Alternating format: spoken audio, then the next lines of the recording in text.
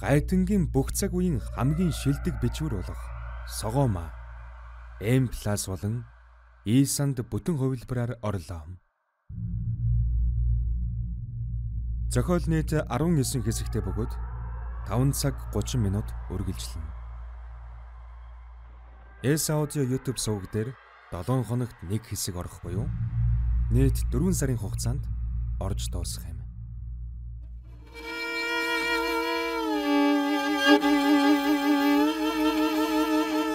Эс аудио үзүүлж байна. Хэрв та бэлэн бол жихэвч эзэн.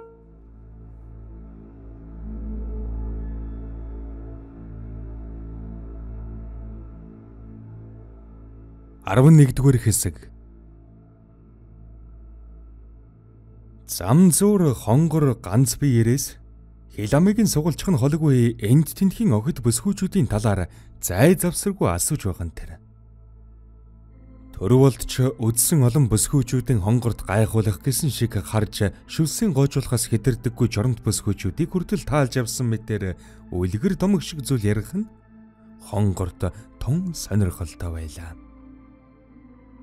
Үнэн эсвэл худлын талаар тэр бодохыг ч хүссэнгүй. Бошуухан охтыг олж эхнэрийн очиж ноологсон гэхээс байж чадна. Төрөвөлд сумын төвийн засаг даргаыг эзгүүчлэн төвний том охин заяаг хэрхэн яаж чихэнд чимэгтэй гэнж байсан талаар ярьж байсан нь таг болчихов. Хонгор гайхан тэгэд тэгэд яасан юм? Гэхэд төрөвөлд юу ч дууралгүй зүүн харын долоовор хуруугараа уруулан хаах дөр үзүүлээд тэдний өмнөх гүн харанхуйр үзаалаа. Хонгор тэр зүг рүү хартал үнэхээр харанхуй дунд цас чихрүүлэн хин нэгэн алхах шиг чимээ гарна. Үүний зэрэгцээ хин нэгэн шив нэг шиг сонстов. Тэд хүн гэдгийг бадтай боллоо гэж зэрэг сэтгээд хоёул морносон бон.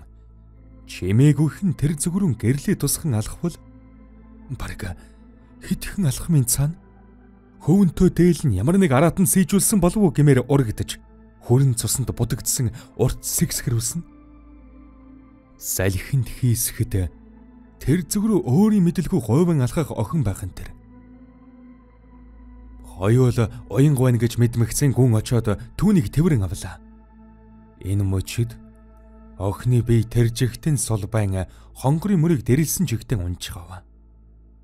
Харин түүний ард газар нь хөлдөж бие нь хөхөрсөн жаахан охин уянгагийн нурууг налсан чигтэн өгсөн амьд аль нь болох нь мэдэгдэхгүй аргагүй наалдсан байв. Төрволд яаран сандарч чичирсэн гараараа гарч идэнгийн тэнгэр рүү тусган анивчулж гарлаа. Төдөлгүй жалганы наан байсан хоёр ирж түүний араас бусад ирчүүд давхилдан ирцэх яв. Төвшин морносон үсрэн буугаад гүйн ирж охин нь тэврэн авч зөрхөртөл уйллаа. Өдийн наслахтан ийм аймар зүйл үзээгүй эрчүүдийн зарим нь амаан таран харин зарим нь хүрч чадахгүй юм байна. Гонгор охиныг тэвэрсэн чихтэн төр болдод хандан алив жаах нэгэн салгаатгах уу гэхэд залуу ухасхийн төвшөнд тэврүүлэн суух уянгааг багхан өргөд бэлхүүсээр нь оруулсан бүсийг сулдхан согоомаг тэврэн өргөхөд Төмөнхөө охины тухан дээр гарan хүргээд амьд байна гэж хэлэх зур чалганы цаанаас готов сайхны хоёр давхин ирлээ. Готов өвгөн өсрөн бууж ирээд майжгнан төр булдын өмнө нэрээд сөхрөд сууж гав. Үргэлж улаа бударч байдаг хазар нь хөлдөөд хүрэн болчихсон. Урд сурмус нь хазартайгаа наалдаад байдгэр нь цантчихаж хамаг биеийг хөшөөд хөхөрч гсэн жаахан охин хараад зүрхэн зогсчих шиг болох энэ төр. Сайхна готов өвгнийг төшин босгоход төмөн хүү түүн дээр ирж Охин нь амьд байна. Миний дөө битгий. Хэдүүлэн бошуухан эмлэг бараад ингээд мориндон мордоцгоолаа. Эрчүүд хоёр хэсэг салж нэг хэсэг нь охтыг эмнэлэг рүү хүргэж өгөхөөр явхад нөгөө хэсэг нь сөрөнгө гэрээс нь авч эмнэлэг хүргэхээр түргэлцгээв. Өвдөгөн цулгартал мөргсөн сөрөнгийн майныг хаалга сэвхэдэл нээгдэж тасалтуулав. Нээлттэй хаалгаар хүйтэн ахаар гэр дүүртэл орж ирэхэд төрөвөлд хонгор нар байхын тэр. Сүрэн нүдэн бүлтийлгэн гордсон харцаараа олсон уу гэж шивнэг шахам асуугаад хариултыг амьсгаа даран хүлээв. Төрөвөлд холсон сомын төрөө эмнэлэг рүү явсан. Бид хоёр таныг эмнэлэг рүү авч явахаар ирлээ. Гэхэд сүрэн ээлж дуусаагүй багт нь үндийн босч хурган дээлээ намарлаа. Өдрийн нартайд тал ихээр нутхан хичнээн уудам сайхныг багтан харж зогсдог бол шөнийн харанхуйд нялх хүрдэн яарсан эхэн сэтгэл цэлгэр талыг зөвхөн замын холд уурсан явлаа.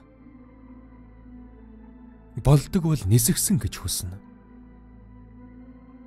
Эмнэлгийн хаалгаар бүдчин орж ирээд хонглолоор нааш цашгүй өвгнийгөн харцаар анхаах сүрэнгийнүүд улаанаараа эргэж хүйтэн нулимсанд харагдсан нь чимчгнэн хорсхийг ч үл анзаарахаач. Тэгж байтал нүдний болонд сайхна харагдах нь тэр.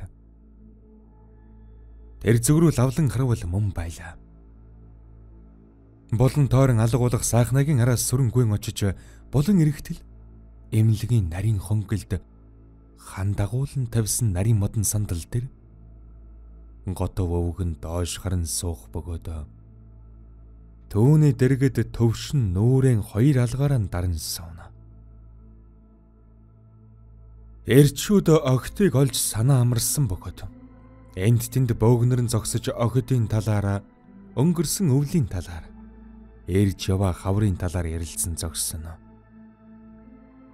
Сүрэн гүн ирж төвшингийн мөрнөөс тадан хашгирч чамаас болж байгаа юм. Чиний хүүхэд миний охиныг алгах шахлаа гэж муухай хашгирахад эрчүүд цочин тэр зүг рүү харав. Годов саял сүрэн гэрсэнг мэдвч төвшингийн мөрнөөс байдаг чадлаар нь зуран хашгирч байгааг хараад түүнийг болиулахыг оролдлоо. Төвшин хариу дугарсангүй доош гарсан чигтэн огт хөдөлсөнгүй. Сүрэн өргөлжлүүлэн хүүхдийн хүмүүжүүлэхэд яадаг юм? Миний тавхан сартай жаахан өхнийг хаврын хавсарган даваад явна гэж юу гэсөг? Ийм юм байж болох уу? Миний охин өгчхүүл чи яах юм? Ганц охиноо тэнгэрт явуулчихад бид яаж амьдрах гэж гэж төвшинг цогхоор сарг байхад сайхна түүнийг араас нь тэрэн болиулаад болон тойрон алгалаа. Сүрэн чарлсан чихтэн хөлөн агаар дээр савлан цөрхөртөл уйлна. Төвшин доош гарсан чихтэн чимээг өхөн мэгшинэ годов түүнийг харагдахыг хүссэнгүй. Бусад ирчүүд ч түүнд юу ч хэлсэнгүй. Тэртэн тэргүй тэр өөртөө маш их гимчин суугаана хинч харсан илхэн. Төдөдөлгүй цагаан хаалга нээгдэн чагнууран мөрөн дээрийн тогсон эмчнэр гарч ирэхэд бүгд тэднийг тос чаваад тойрч зогслоо. Тэдний амнаас гарах амьсгагч үл алдан чагнах гэсэн ирчүүд нам гүн болов. Дэргүүлэх зэрэгтэй настай эмч азарагтууд эсэм энд байна. Хөл гар нь байрсан боловч хөлдөөгүй байна. Няра нухаан орсон. Ээж нь байвал орж хөхүүлээрэ. Харин том охины гэрээс хүн байна уу? Гэхэд төвшин ухасхийн гараа өргөж би байна гэв. Охины нэр хэм бэлээ? Уянга гэв. Эмч уянга жаахан хүнд байна хөлдсөн зүйл байхгүй ч гэсэн тэмцэлдсэн байрын шарх ихтэй тэр хэсгээс их цус алдсан. Тэгээд болоогүй. Гээд нэг хэлэх гэснэн эргэн тойрноо хараад энд хэлж болох үйл үү гэж өөрөөсөн асуугаад төвшөнд хандан та ер нь миний өрөөнд ороод ирэх үү гээд тойрч зогссон эрчүүдийг зүсэн хонглоор алхан явлаа. Бусад эмчнэр ч түүнийг даган алхав. Эрчүүд хонголдон сонссон зүйлийнхэн талаар ярилцсан зогслоо. Эмч өрөөндөн орон чагнууран мөрнөөсөн авч ширээн дээр нь тавиад төвшинг суухыг урилаа. Төвшинч дүргэн сууж түүнийг юу хэлхийг тэсэн ядан хүлээнэ. Эмч хуруунуудаа салаавчлан хоёр гараан адхан залуугийн өөдөөс харан суухад би залуу байхдаа хотод нэгдсэн эмнэлгийн цогцос хүлээн авдаг газар яг морг л доо тэнд ажиллаж байсан юм. Янз бүрийн цогцос маш их ирдэг. Тэр бүгдийн үхлийн шалтгааныг туршлагатай эмчнэр харж тогтоож цогцыг шинжилж байхад би залуу эмч юм сурах гэж хажууд нь харж зогсдог байсан юм л та. Би яагаад энэ талаар яриад байна вэ гэхээр танаа охин уянгагийн нөгөө их цус алдсан шарах гэсэндэ тэр их сонирн байна. Ингээд залуу гайхан юун тийм эмчээ би нэг л сайн ойлгодгүй би ч нөөрэ дунд сургуульд өгсөж арай ядан бичиг үсэг сурч яваад л малчин болсон хүн. Та надад арай ойлгохдохоор тайлбарлаад өгөөч. Тэхүү гэж говаа. Эмч нүдний шилэн аван нүдээ нуглаад буцаан зүүгээд нугацтай хардсаар залуу ирлүү эрс шидэмгийгэр ширтэн охины бие дээр байгаа шархнуудыг үүсгсэн шүдний ормоныг сони юм. Аратан гэвэл үгүй та барыг мэдэнтэй. Ингээд цаанаас нь цэвэрхэн цаас гарган иржээ. Ингрийнхэн халааснаас үзэг суглан аваад зурж эхэллээ. Эмч жишээ нь чон нохоо байвал хоёр соёо мэдээж урд учраас хүний арьсыг нэвтлээд илүү хүн орно. Харин бусад шүднүүдийг зохион байгуулалт хэлбэр гэсэн үг л дээ. Гэхдээ тэд нэр нь соёотойгон ерөнхийдөө төстөө боловч соёо шигээ тийм гүн шигдэхгүй. Харин яг ийм хараатан амтан дайрсан хадсан тиймэр зөвхөн хөлн дээр нь байсан. Харин хамгийн их цусаалдсан шарх нь мөрөн дээр нь байгаа. Хамгийн сонин зүйл нь энэ. Та сайн сонсоорой.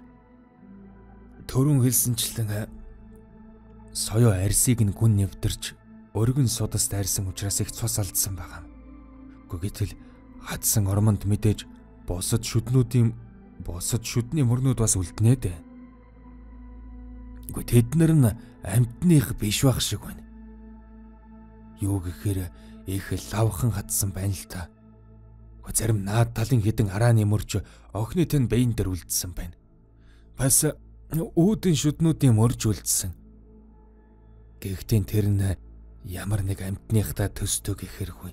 Үгүй яг л хүнийг шиг байх юм. Яг та намайг магадгүй галзуурсан, хөгшөрсөн эсвэл буруу харсан ч юм уу гэж бодож байгаа байх л да. Үгүй би угаасаа тийм шүүх шинжилгээний нарийн мэрэгжлийн эмч бас биш л дээ. Гэхдээ хараатан амтнд хазуулсан сээжүүлсэн шарах уулмөр би олон харж байсан. Харин танаа өхний хувьд бол амтнд дайрсан бадлагаатай. Гэхдээ чон уу, үнэг үү? Эсвэл бүр нохоо юу гэдгийг мэдэхгүй байна. Гэхэд төвшин түүний яриаг таслан эмч би нэг л гэхэд нь түүний яриаг тасалсан эмч эрс шидэм гэгээр. Их ойлгомжтойгоор хэлвэл Танаа өхний бие дээр хоёр ширхэг хадсан мөр байгаа. Хөлн дээр нөгөө нь мөрөн дээр нь. Хөлн дээрхийг бол араатан амтан хадсан гэдг нь батлагаатай. Гэхдээ яг амар амтан бэ гэдгийг би тогтоож чадахгүй. Харин тэр мөрөн дээрх шарахыг би амтан үлдээсэн гэж хэлж чадахгүй. Учир нь хүн ч байж магадгүй байна. Тэгэхэд төвшин золтол сандал дээрээсэн унчихсангүй. Учир нь Үгүй хүн ч байж магадгүй байгаад байна. Юу? Та яаж би танд хэллээ шүү дээ. Мөрөн дээр шарах их лав хадсан. Үүдэн шүд зарим наан байрал дарааны мөрүүлдсэн. Энэ нь яг хүний шиг юм байна. Гэхэд төвшин хоёр гараан алдлан үсэн хойш нэлэхэд нүд нь куйлэгнэн байх нь эмчид суух газрын олж ядах шиг санагдав. Эмч үргэлжлүүлэн Би тэгэхэр таныг эмч хүнийхэн хувьд охин ухаан орохоор яаралтай хот руу явж яг энэ мөрийг лавшруулан шалгаж мэдээсэ гэж зөвлөх байна. Манай эмнэлгийн зүгээрс урдчлан сэргийлэх галзуу өвчний тариаг хийж өгнө. Бас ухаан ордол эрчим дэмжлэгээний тасаг твдүүлэн эмчлүүлэх юм. Гэхдээ би бас охиныг олсон хүмүүстэй уулзсан л та та мэдсэн байх. Тэд охиныг олоход танаа охин өөр ингэсэн ухаангүй байсан гэж хэлсэн. Тэгэхээр мэд сэтгцийн талын нарийн амжилгээг энд хийдэггүй. Улсдаан цоргонд сэтгцийн эмнэлэг байдаг штэ. Өнөө шаргадны эмнэлэг гэж хэлж дуусаагүй байтал төвшин дүрсгийн уурлаж та манай охиныг галзуу гэх гээд байна уу? гэж дууган өндөрсгөн асуухад үгүй юу л да ийм гентийн дайралтаас үүдээд хүний сэтгэхүй баг зэрэг өөрчлөгдөх шинж тэмдэг нэлээд ажиглагддаг юм. Гэхдээ шуудхантаа цочролд орж гэж байна л гэсэн үг л дээ. Энийг эрт дээр нэмжилж ихвэл цаашдын амьдрал зан үйл хөвшилд нөлөөлөхгүй. Гэхдээ энийг бас тоохгүй өнгөрөөчвөл цаашид ямар муу үр дагавартай байх ч юм бэлээ. Тийм ээ? Одоо бид мэдэхгүй шүү дээ гэж ээрч мөрөн хэлэхэд залуу доошхор нь нүүрэн даран суулаа. Төвшин хариу хэлсэнгүйдээ эмч өргөлжлүүлэн "Үгүй тэгээд ч хэд өсвөр насн дээр явж байна. Хамгийн эмзэг нас шүү дээ. Ийм үед олсон гэмтэл бол сэтгэхүйд маш их нөлөөлнө. Тэр тусман сэтгцэн ямар нэг асуудалтай болох магадлал өндөр шүүлгэх гэсэн юм. За за Та өөрөө шийднэ үсттэй. Ингээвэ. Төвшин эмчин өрөөнөөс яаж гарсан нь мэдсэнгүй. Осолдохгүй хөлн газран олж гიშгэж байваа. Гэсэн ч энэ бүх явдалд үгүй тэр готов сүрэн хоёрыг буруутгахыг хүссэнгүй. Харин өөрийгөө буруутгаж байлаа. Тэр үүдэнд хүлийн суух готвын өмнө эрен сөгдөж суугаад хот руу сургуульд явах нь л охины минь туйлын хүсэл байсан юм шүү дээ. Тэгэхэд би дүүнэр ахаар хээжтэй тусал гэр орны ажил хоолунд гэсэн шалтар булдар шалтак тоочод охиныгоо явуулаагүй. Тэгэд л юм болчихлоо. Ах минь дүүгээ өөжл. Дүүн та хоёрын өмнө түмэн буруутай Би л охиныгоо алчглаа. гэж өвдгийг түшин цөрхөртөл ойлов. Настай эмч төвшин гаван өрөөндөн ороход гадна хаалга нээгдэн нулимсантан халтарсан сүрэн. Миний охин хаана байна гэж тэдний тэрэг дүр зөрлөө. Эмчийг дагаж явсан хүмүүсийн дундаас нэг совлогч түүнийг дагуулan согоомогийн байга өрөө рүү орлоо. Гэтэл залуухан совлогч охиныг нь өвөр дээрийн тэврэн чинэрсэн хөхөн хөхүүлэх цуураан бүүвэн дуу аялан зөөлн найгана. Харин согоомаа нэг гараараа хөхнөөс барин нөгөө гараараа солих хөхний толгойг бяцхан хуруугаараа барьсан чихтэн нам унтжээ. Өөнийг харсан сүрэн юу ч хэлэлгүй гараад явчихва дэмтжсээр угаалгын өрөөнд орон хаалгыг түгжээд сөрхөртөл уйлав.